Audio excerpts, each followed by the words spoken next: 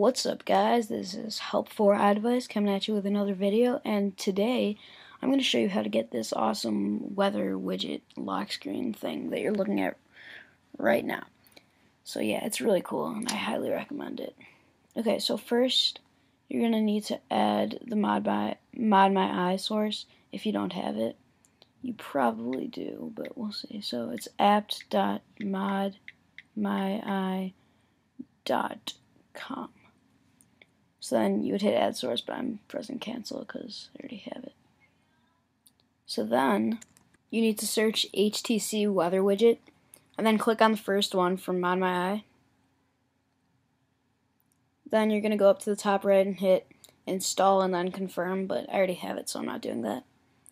And yeah, so you do that and then afterwards you're going to need to get iFile. So there's a lot of different ways you can get this. You can get the paid version from Big Boss, or you can get the free version from Insanelyi repo, Xsellize, iHacks repo.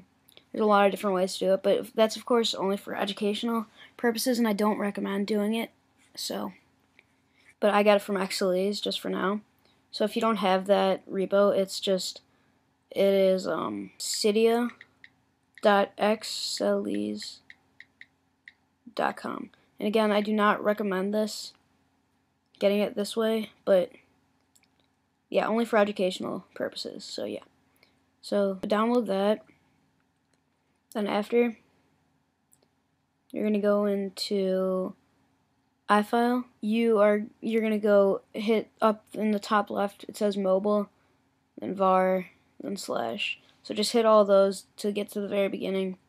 Then go to library themes.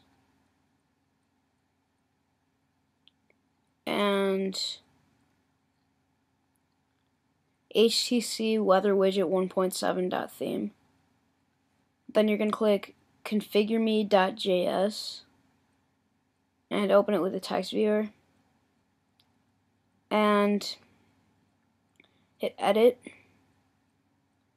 And then right under where it says weather.com slash weather today London United Kingdom all that stuff.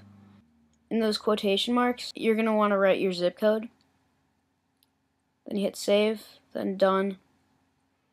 Then after that get out of this go to winterboard which I assume that you have but if not I'll put how to get in the description and then you're gonna enable HTC weather widget 1.7 go back hit respring. And there you have it. There's your weather widget with your customized location. So yes. Thank you for watching and please rate comment and subscribe